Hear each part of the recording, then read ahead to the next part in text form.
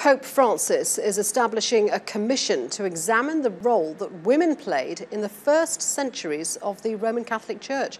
The move could be a preliminary step in allowing women to become deacons.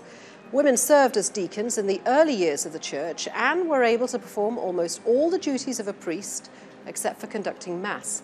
A statement issued by the Vatican said the commission would be made up of six men and six women. Well, Joshua McElwee is the Vatican correspondent for the National Catholic Report and joins us now from Rome. Joshua, good to have you with us. So, how significant uh, is this move by the Pope? I mean, it's a very important one, and why do you think he's doing this now? Well, the Pope has basically created a commission to study the question of whether women could serve as deacons. Uh, it would be the first time a woman would serve in the clergy in the Catholic Church in centuries, in, in a millennia. Um, and he's doing it now because he was asked by a group of nuns, uh, of women religious who were having their th- every three year meeting in Rome back in May. He was asked if he would study the question of the fact that there seemed to be women deacons in the past and if there could be women deacons in the future. And he responded and said that he understood the question and that he would create this commission. But it is controversial, isn't it? Because many within the church oppose the appointment of women.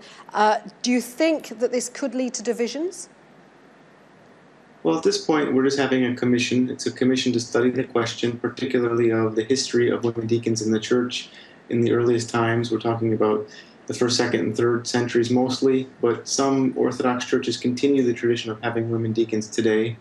Um, but at this point, we have to see what the commission does, uh, kind of what it does with his work and what it might recommend to the Pope.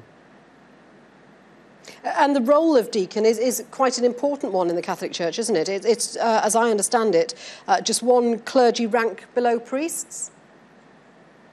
They have a different function than priests, but they are ordained ministers. Um, we have a permanent diaconate in the church. Normally, that's open to married men over the age of 35 and they can uh, give baptism, they can lead prayer services, they can lead parishes, they just don't uh, celebrate the Mass, um, and they're not, you know, cardinals or bishops, uh, but they are part of the Catholic clergy, and so it would be a, a, a big move for women to be allowed to be deacons. Joshua, thank you very much indeed for that interesting stuff. Joshua McElwee there live.